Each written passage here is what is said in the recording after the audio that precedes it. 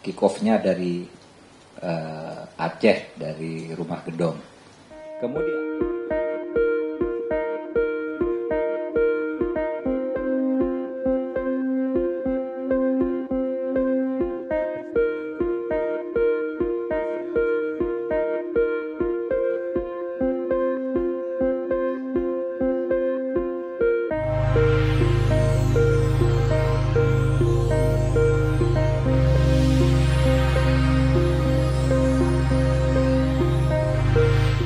kick off-nya dari uh, Aceh dari Rumah Gedong.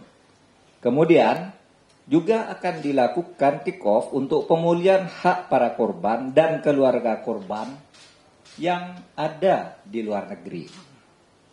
Kebijakan penyelesaian non yudisial ini tidak meniadakan penyelesaian yudisial yang akan terus diusahakan untuk diselesaikan sesuai dengan Undang-Undang Nomor 26 Tahun 2000 yaitu dibahas oleh Komnas HAM dan Kejaksaan Agung serta sesuai dengan ketentuan pasal 43 dimintakan nanti keputusannya kepada DPR sehingga nanti bisa diperdebatkan di DPR tentang kelayakannya.